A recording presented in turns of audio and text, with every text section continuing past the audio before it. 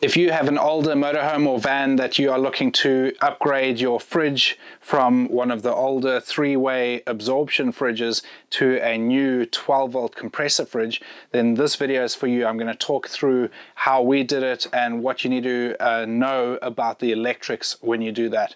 Uh, so to start off with, uh, most three-way absorption fridges uh, in the older vans, the way that they work is that they have three ways that they run. So usually uh, they have an LPG option, uh, which obviously uses your LPG gas, uh, and then they have a 240 volt uh, mains AC option. So when you have an electrical hookup, then they run on that. And then the third option is that they have a 12 volt um, option to power them, which the way that it's traditionally wired in into your motorhome is that there's a line that comes from your ECB, so from the electrical uh, system, to the fridge, but that line is only activated when the engine's running, and it's usually on a relay or a split charge or something along those lines, um, and, and it only gets power from the engine battery when your vehicle is actually running. Now, it's important to note with a three-way absorption fridge is that they are not very efficient running off 12 volts. So when they run on the 12 volt option, running off the engine battery, uh, that's possible because your your essentially your engine battery is as long as your alternator is working, there's unlimited uh, resources there while the engine is running.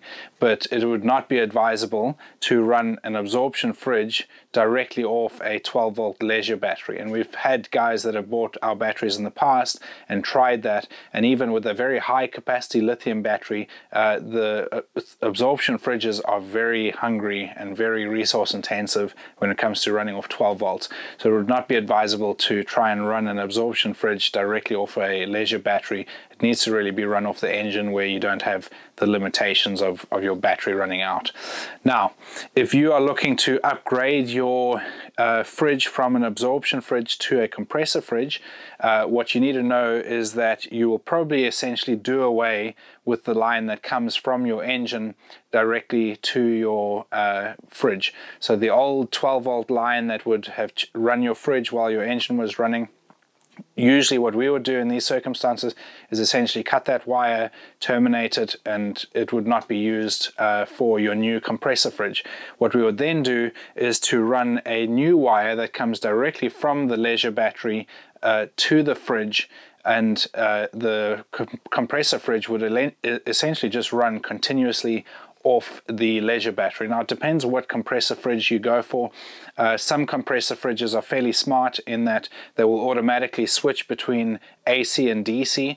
So if you wire your fridge into your your 240 volt uh, system in your van, so essentially you just splice it into the electrical hookup line um, that comes from that, then essentially your fridge will just choose between them depending on which is available. So if 240 volt is available, it'll run off that, and obviously if it's not available, then it'll run off the 12 volt. So that's quite a nice thing to have because uh, like in my van I have an older three-way absorption fridge and I always have to choose between them. And I constantly forget. So we'll do like a long drive and I'll have it on the 12 volt option and then I'll forget about it and we'll have parked up somewhere and a few hours later I'll remember or the next morning I'll be like, uh, I didn't change the fridge over and it's been all night, that sort of thing.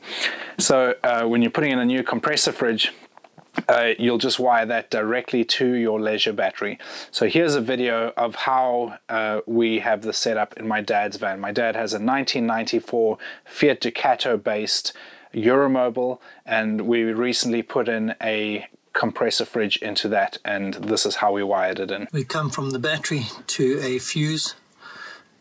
We then go and split to two isolators, one for the load and one for the charge. Go to another fuse just to be safe, can never have too many fuses.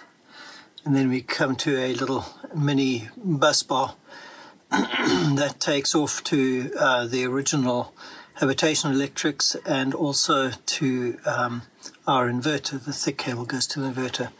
We have one cable that goes to a little mini fused bus bar that uh, we take off, a distribution board we take off. And the one on the left, the thick cable on the left, is the one that goes across to the fridge. And that runs the fridge. We also have a little common mini bus bar for all of the uh, negative stuff. The thick one again, this thick one here goes to the inverter and that also goes to a common bus bar.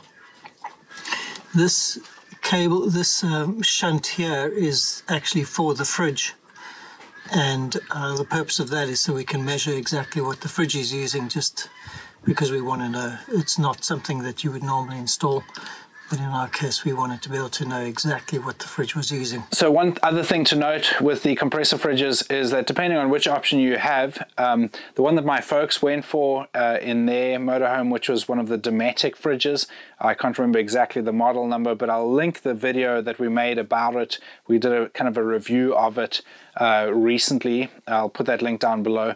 But uh, their fridge uh, used around 30 amp hours of power per day and that was on this previous summer that we had here in the UK which was one of the hottest summers on record.